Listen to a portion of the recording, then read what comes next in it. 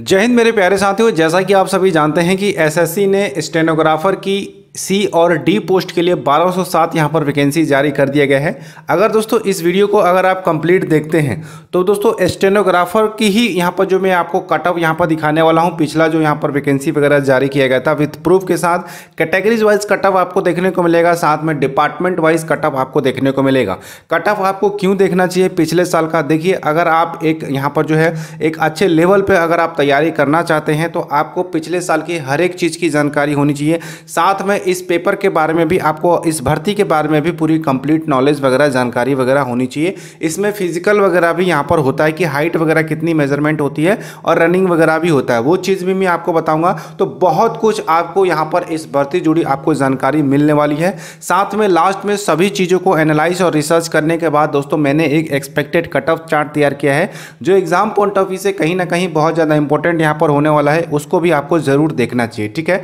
तो चलिए फ्रेंड्स बिना किसी देरी के हम वीडियो में आगे बढ़ते हैं, उससे पहले हमेशा की तरह, अगर आपने रोज़गार संकल्प चैनल को सब्सक्राइब नहीं किया है तो आपको रोज़गार संकल्प चैनल को सब्सक्राइब करके ज़रूर रखना चाहिए। साथ में नोटिफिकेशन बेल भी ऑन कर ले, क्योंकि आपको इस चैनल पर हंड्रेड ऑथेंटिक एंड जेनवन निकले गवर्नमेंट भर्ती के बारे में ही जानकारी दी जाती है। और इसका पीडीएफ वगैरह प्राप्त करना चाहते हैं तो वीडियो को ही डिस्क्रिप्शन में आपको टेलीग्राम चैनल का लिंक दिया गया है, उसको ज्वाइन कर सकते हैं, या आप मुझे इंस्टाग्राम पे भी फॉलो कर सकते हैं, ठीक है? तो जैसा कि दोस्तों, आप सभी को पता है कि बहुत सारे हमारे जो साथी हैं जो छात्र हैं, जो छात्राएँ हैं, उन्होंने यहाँ पर फॉर्म जो है ऑलरेडी यहाँ पर भरना जो है वो अपना फॉर्म जो है वो भर लिए होंगे। और बहुत सारे ऐसे साथी हैं जो आगे आने वाले दिनों में फॉर्म अप्लाई करेंगे। तो फॉर्म भरने की लास्ट डेट दोस्तों तेईस अगस्त दो हज़ार तेईस है। इसके अलावा दोस्तों यहाँ पर जो है लास्ट डेट भी तेईस अगस्त है और आपका जो सीबीटी का एग्ज़ाम है, यानी कि कंप्यूटर बेस्ड टेस्ट जो है अक्टूबर ट्वेंटी में कंडक्ट कराया जाएगा, ठीक है? और इसी के बेस पे आपका मेरिट बनेगा। और सेकंड जो स्किल टेस्ट होगा, वो सिर्फ़ क्वालिफाइंग इन नेचर आपका रहने वाला है। हर एक चीज़ आपको इस भर्ती जुड़ी आपको क्लियर करने वाले ठीक है? मोड ऑफ़ सिलेक्शन की बात करें तो यहाँ पर इन्होंने बता रखा है, अगर आप जनरल कैटेगरी से बिलोंग करते हैं तो आपको 30 परसेंट तो एटलीस्ट आपको लाना ही होगा। ओबीसी ईडब्ल्यूएस का कैंडिडेट है तो 25 परसेंट और बाकी जो कैटेगरी रह जाती है, उनके लिए यहाँ पर 20 परसेंट जो सीबीटी एग्ज़ाम है, उसमें यहाँ पर लाना होगा। तो ये सारी चीज़ें दोस्तों, इसके अलावा दोस्तों हम बात करेंगे कि आपका जो सीबीटी होगा, वो कितने नंबर का होगा। देखिए सीबीटी है जो आपका जो पार्ट है, तीन पार्ट में यहाँ पर होने वाला फ़र्स्ट सेकेंड थर्ड जिसमें यहाँ पर सब्जेक्ट दे सकते हैं general intelligence and reasoning general awareness और इंग्लिश लैंग्वेज एंड कंप्रीहेंसिव से क्वेश्चन पूछे जाते हैं, ठीक है? जिसमें दोस्तों यहाँ पर यहाँ पर जो है नंबर ऑफ़ क्वेश्चन देख सकते हैं मैक्सिमम मार्क्स देख सकते हैं तो टोटल जो है 200 यहाँ पर क्वेश्चन आपसे पूछे जाते हैं 200 मार्क्स के बराबर होता है, दो घंटे का समय आपको दिया जाता है, ठीक है? ऑब्जेक्टिव टाइप दोस्तों क्वेश्चन यहाँ पर पूछे जाते हैं, और यहाँ पर दोस्तों there will be negative marking equal to one third देखिए वन थर्ड इसमें नेगेटिव मार्किंग भी रखी जाती है, ठीक है? तो इस चीज़ को भी आपको विशेष तौर पर ध्यान रखना है और इसी के बेस पे आपका जो मेरिट वगैरह जो है, वो यहाँ पर बनता है, ठीक है? अगर आप ये जो है सीबीटी एग्ज़ाम क्वालिफाई कर लेते हैं, उसके बाद दोस्तों आपका जो है स्किल टेस्ट के लिए आपको कॉल किया जाता है। स्किल टेस्ट जो है दोस्तों आपका क्वालिफाइंग इन नेचर आपका रहता है, ठीक है? और मेरिट जो आपकी बनती है दोस्तों कंप्यूटर बेस्ड के एग्ज़ाम पे ही बनती है मतलब ये वाला जो है, इसमें जितना भी आप स्कोर करेंगे, उसके बेस पे आपका मेरिट वगैरह तैयार किया जाएगा, ठीक है? टेशन जो है आपको दस मिनट का समय मिलेगा हिंदी और इंग्लिश के लिए जिसमें दोस्तों जो आपकी स्पीड है यहाँ पर हंड्रेड वर्ड पर मिनट के हिसाब से आपकी स्पीड होनी चाहिए स्टेनोग्राफर ग्रेड ग्रेड सी के लिए और 80 वर्ड पर मिनट के हिसाब से जो आपकी स्पीड होनी चाहिए यहाँ पर स्टेनोग्राफर ग्रेड डी के लिए, ठीक है? और यहाँ पर दोस्तों आपको जो है यहाँ पर आप देख सकते हैं जिसमें यहाँ पर जो है इन्होंने पोस्ट यहाँ पर बता रखा है और यहाँ पर लैंग्वेज ऑफ़ स्किल टेस्ट के बारे में बता रखा है ड्यूरेशन यहाँ पर बता रखा है ग्राफर ग्रेड डी के लिए इंग्लिश की जो यहाँ पर लैंग्वेज स्किल टेस्ट है वो आपको पचास मिनट का समय मिलेगा बाकी दोस्तों, स्टेनोग्राफर यहाँ पर जो है ग्रेड डी के लिए यहाँ पर देख सकते हैं, हिंदी के लिए यहाँ पर पैंसठ मिनट, स्टेनोग्राफर ग्रेड सी के लिए इंग्लिश के लिए यहाँ पर चालीस मिनट और स्टेनोग्राफर ग्रेड सी में हिंदी के लिए यहाँ पर जो है पचपन मिनट का यहाँ पर समय वगैरह यहाँ पर मिलेगा, ठीक है? तो ये सारी चीज़ें आपको अच्छे से समझ गया समझ गए होंगे। बारहवीं पास कैंडिडेट इसमें अप्लाई कर सकते हैं और ये तमाम तरह की टेस्ट वगैरह यहाँ पर होगा। तो जो स्किल टेस्ट होगा, वो सिर्फ़ क्वालिफाइंग इन नेचर आपका रहने वाला है, ठीक है? अगर यहाँ पर दोस्तों ये चीज़ आपका क्लियर हो गया, पहले तो आपका जो एग्ज़ाम होगा, एग्ज़ाम क्वालिफाई कर लिए, उसके बाद स्किल टेस्ट क्वालिफाई कर लिए, उसके बाद दोस्तों बारी आती है यहाँ पर फ़िज़िकल टेस्ट का। तो फ़िज़िकल टेस्ट सिर्फ़ दोस्तों ग्रुप बी, नॉन गजेट और ग्रुप सी पोस्ट के लिए होने वाला है, जिसमें वन माइल की रेस होगी। वन माइल मतलब वन किलोमीटर की जो रेस होगी, आपको टेन मिनट में कंप्लीट करना है। तो बहुत ही आसानी से आप जो है इस रेस को कंप्लीट कर सकते हैं टेन मिनट में, और ये आपको कंप्लीट करना है। इसमें आपको, अगर आप टेन मिनट से एक सेकेंड भी ज़्यादा ले लेते हैं सोलह सौ मीटर की रेस को कंप्लीट करने में तो आपको डिसक्वालीफाई कर दिया जाएगा तो ये आपको दोस्तों यहाँ पर कंप्लीट करना है क्वालिफाइंग इन नेचर ये भी आपका रहने वाला है ठीक है इसके अलावा दोस्तों यहाँ पर हाइट यहाँ पर मेज़रमेंट किया जाएगा रीजन वाइज यहाँ पर जो है अलग अलग हाइट आपका होने वाला है तो यहाँ पर दोस्तों आप देख सकते हैं अगर आप वेस्टर्न वेस्टर्न हिमालय के यहाँ पर रीजन के अंतर्गत आते हैं जिसमें यहाँ पर बहुत सारे यहाँ पर जो है स्टेट को कवर किया गया है जिसमें जम्मू कश्मीर है से लेके यहाँ पर उत्तराखंड तक यहाँ पर कवर किया गया है जिनमें हाइट जो है यहाँ पर एक सेंटीमीटर यहाँ पर जो है, इस यहाँ पर स्टेट या रीजन से बिलोंग करने वाले कैंडिडेट की जो हाइट है, एक सेंटीमीटर यहाँ पर मेज़रमेंट किया जाएगा। और वहीं दोस्तों यहाँ पर जो है चेस्ट 75 तो एटलीस्ट होना चाहिए, पाँच सेंटीमीटर यहाँ पर फुलाना होता है। वेट वगैरह यहाँ पर बता रखा है। तो ये तमाम तरह का रीजन वाइज यहाँ पर जो है आप देख सकते हैं यूपी बिहार के लिए एक सेंटीमीटर जो है ये हाइट वगैरह होनी चाहिए और चेस्ट 75 से यहाँ पर जो है यहाँ पर जो है 80 यहाँ पर मांगा गया है। वेट यहाँ पर 50 के के आसपास होना चाहिए, ठीक है? तो ये तमाम तरह की जानकारी दोस्तों इस भर्ती जुड़ी आपके पास होनी चाहिए। अब चलते हैं जो है इसका पिछला साल का कटअप वगैरह। हर एक चीज़ दोस्तों मैं आपको यहाँ पर यहाँ पर कैटेगरीज वाइज और यहाँ पर डिपार्टमेंट वाइज आपको बताने वाला हूँ, ताकि दोस्तों यहाँ पर जो है आपके मन में एक यहाँ पर जो है एक यहाँ पर लेवल सेट हो सके कि कितना यहाँ पर जो है कौन से पोस्ट के लिए, कौन से डिपार्टमेंट के लिए कितना यहाँ पर कट ऑफ़ जाता है, ताकि दोस्तों उस लेवल की आपको तैयारी यहाँ पर आपको करनी चाहिए, ठीक है? सबसे ऊपर ही staff selection commission stenographer grade C and D examination 2022 declaration of result of computer based examination to call candidate for appearing in skill test ठीक है? तो यहाँ पर जो कैंडिडेट यहाँ पर जो है सीबीटी क्वालिफाई कर कर लिए हैं उनका यहाँ पर रिज़ल्ट आपको देखने को मिल रहा है तो नीचे यहाँ पर जो है इस यहाँ पर जो है यहाँ पर देख सकते हैं ग्रुप सी में इतने बच्चे यहाँ पर शॉर्ट लिस्टेड हुए थे और ग्रुप डी के लिए यहाँ पर जो है यहाँ पर इतने बच्चे शॉर्ट लिस्टेड हुए थे ठीक है इसके अलावा दोस्तों यहाँ पर जो है कट ऑफ़ की बात करें तो यहाँ पर कट ऑफ़ भी इसके साइड में यहाँ पर देखने को मिल जाता है एससी का एक सौ चौदह कितने में से दोस्तों दो सौ मार्क्स में से ठीक है इसके अलावा एसटी का एक ओबीसी का वन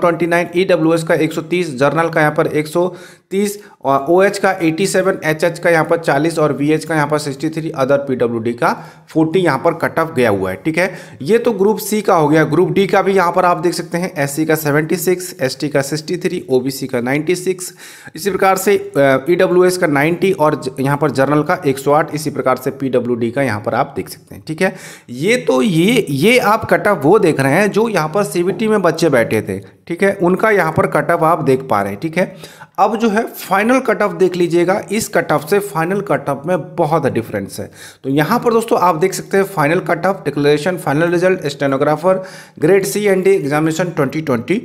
ठीक है? यहाँ पर दोस्तों, आपको नीचे जो है, सबसे पहले ये चीज़ आप ध्यान रखिएगा पोस्ट कोड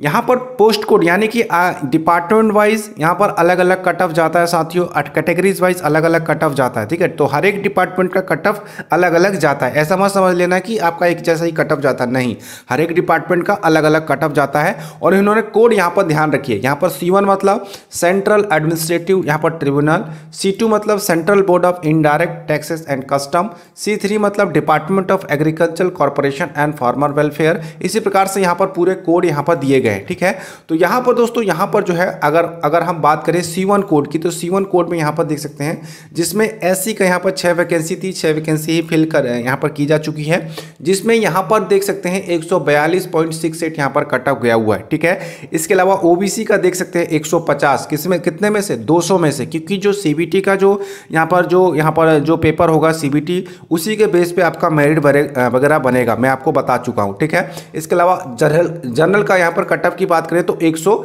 गया है। ये कौन से पोस्ट के लिए? यहाँ पर सी पोस्ट के लिए, यानी कि सेंट्रल एडमिनिस्ट्रेटिव ट्रिब्यूनल के लिए। सी के लिए, यानी कि central board of indirect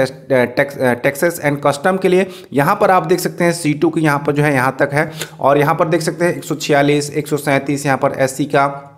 और इसी प्रकार से दोस्तों ओ एच का एक सौ सोलह और जनरल का यहाँ पर देख सकते हैं एक सौ यहाँ पर कट ऑफ़ गया हुआ है तो इसी प्रकार से यहाँ पर कट ऑफ़ आप देख सकते हैं ठीक है तो यहाँ पर दोस्तों जो यहाँ पर जो डिपार्टमेंट यहाँ पर देख सकते हैं इन डिपार्टमेंट में कट ऑफ़ हमेशा ही ज़्यादा जाता है ठीक है इस बात को भी ध्यान रखना है ठीक है अब बात करें नीचे यहाँ पर देख सकते हैं ग्रेड डी ग्रेड डी के अंतर्गत यहाँ पर सी ट्वेल्व आ रहा है तो ये यहाँ पर कैसे देखेंगे तो इसी के नीचे यहाँ पर जो है पोस्ट कोड के लिए यहाँ पर जो है डिपार्टमेंट यहाँ पर बता रखा है डी मतलब यहाँ पर जो है border road organisation male candidate इसमें सिर्फ़ अप्लाई करते हैं। इसके अलावा डी थ्री मतलब bureau of police research and development D fourteen मतलब यहाँ पर central board of direct taxes D fifteen मतलब controller general of defence account इसी प्रकार से यहाँ पर जो है पूरे यहाँ पर बता रखा है पोस्ट कोड तो इनको अच्छे से चेक कर लेना है। इसके अलावा यहाँ पर देख सकते हैं, इसमें हम बात कर लें कि यहाँ पर कितना कितना कटअप यहाँ पर गया हुआ है। तो ये चीज़ यहाँ पर देख सकते हैं डी मतलब बॉर्डर रोड ऑर्गेनाइजेशन जिसमें ईडब्ल्यूएस की बात करें तो one one one cut off S का देख सकते हैं वन ट्वेंटी थ्री एस का देख सकते हैं, एक सौ सात।